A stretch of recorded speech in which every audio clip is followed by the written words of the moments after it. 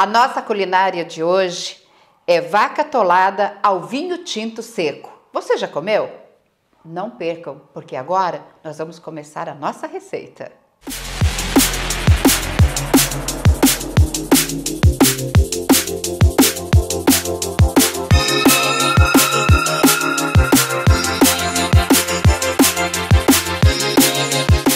Então, o que, que nós vamos fazer? Nós vamos começar fritando a costela. Aqui eu tenho um quilo de costela bovina.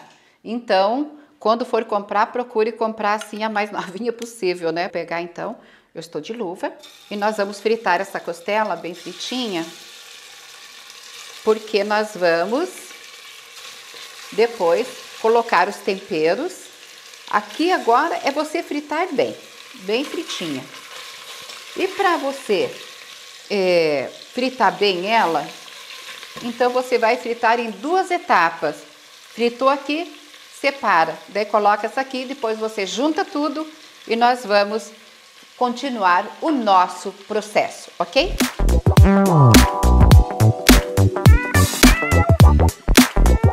Bem douradinha essa costela.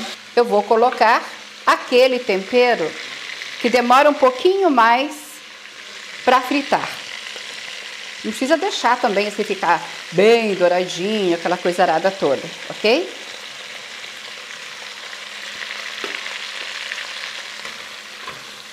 Então eu vou colocar aqui.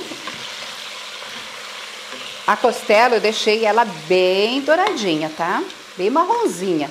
E é legal quando você faz a costela porque fica aquela crosta já né, no fundo da panela. A hora que você colocar a água, o que, que vai acontecer? Ela vai soltar na carne e vai dar um sabor bem gostoso mesmo.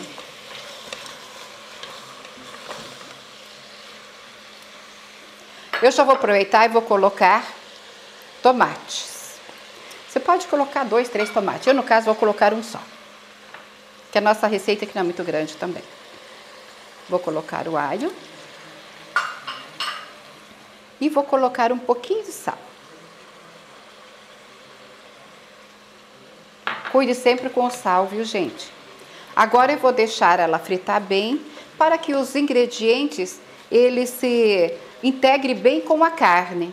Agora o que, é que eu vou fazer? Vou colocar um pouquinho de pimenta calabresa. Não vou colocar tanto não. Eu gosto, mas não vai ser só para mim. Aqui eu vou colocar vinho tinto seco e vou deixar cozinhar mais um pouquinho. Nossos ingredientes aqui já desmancharam tudo, tanto o tomate quanto cebola de cabeça, né? Agora eu vou deixar ferver um pouquinho. Vou pôr a água e vou, claro, pôr a nossa mandioca. Então muitas pessoas falam assim: "Ah, tem época que a mandioca não cozinha muito bem, né?" Mas Vamos torcer que essa aqui cozinhe bem. E agora, água e vamos fechar a panela. Você pode cobrir. Eu tô, estou colocando em torno de um litro, um litro e pouquinho de água, tá? Então, aqui agora você vai fechar a panela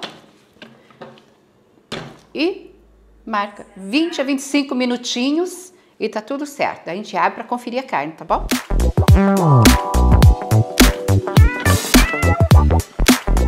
Agora nós vamos dar uma olhadinha como é que está a costela. Bom, já está é molinha, mas nós vamos colocar a mandioca agora. Eu coloquei essa mandioca e vou colocar um pouquinho de água. Vamos fazer com que a mandioca fique bem no meio da carne. Sim.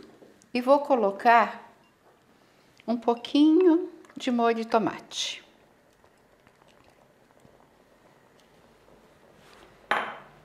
E vamos fechar a panela novamente.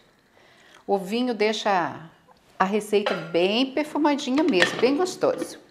Agora vamos fechar a panela mais ou menos mais uns 20 minutos, é o tempo da mandioca cozinhar.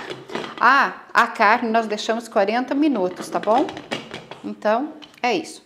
Daqui a pouquinho eu vejo como está. A nossa receitinha quase concluída.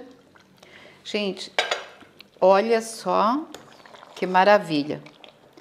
o caldo bem grossinho. Por quê?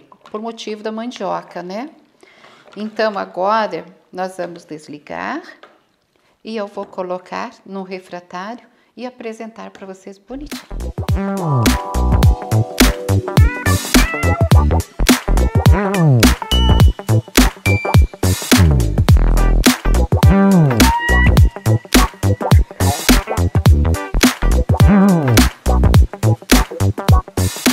Agora eu vou experimentar. Meu prato já está bem bagunçado, mas eu quero mostrar para vocês.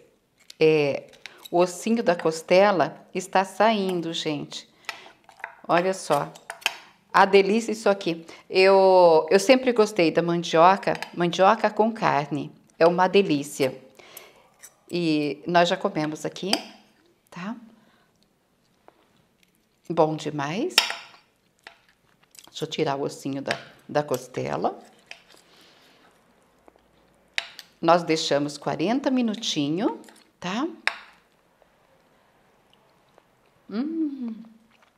Olha o ossinho da costela saindo, olha aqui, ó. Tudo soltando, saindo.